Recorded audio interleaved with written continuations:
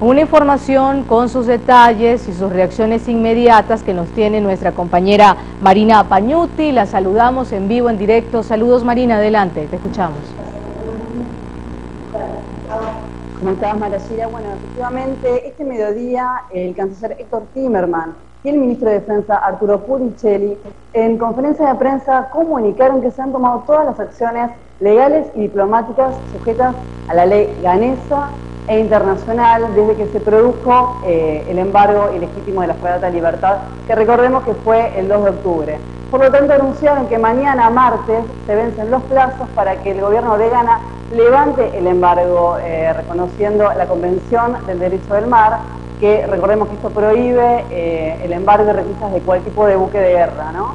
De esta manera, el miércoles 14, Argentina se encuentra habilitada para presentarse ante el Tribunal del Mar con sede en Hamburgo.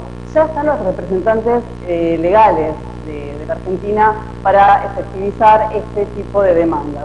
Recordemos también que este atropello soberano a este buque se incrementó el pasado miércoles 7 cuando intentaron ingresar a este buque, a esta fragata, eh, por medios que, bueno, que no eran, por supuesto, los eh, convenidos porque eh, dicen que este buque interfiere en el comercio, digamos, en este puerto de tema, en el, justamente en donde necesita retirarlo. Por eso hoy eh, puntualmente el director del puerto de tema ha presentado, y va a presentar, perdón, una denuncia por desacato, justamente porque no han permitido que ingresaran estas personas a este buque, en donde recordemos también que hay 45 tripulantes, entre ellos el capitán, donde no permiten que se corra este buque. ¿Por qué no permiten que se corra este buque? Porque no está sujeto, no, está dentro de los convenios, no está pactado esto es